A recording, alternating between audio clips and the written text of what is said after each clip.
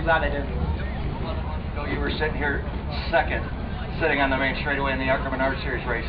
One spot better, got to feel good. Yeah, it feels great. Obviously, me and uh, my twin teammate William Sawalich had a great race here last year, and I got free and came out on the short end of the stick that time. So this time I wanted to, me and Bond just made sure like don't get free, right? And even though we were still a little bit free there at the end, I think that everybody else was even freer. And, uh, and obviously, I'm just proud of everybody at uh, Donnie Wilson Motorsports. And finally got a win with Donnie. I'm you know pretty excited to go see him wherever the hell he is. So uh, just really pumped up. Want to give all the glory to God, and uh, thank everybody at JBL and Toyota.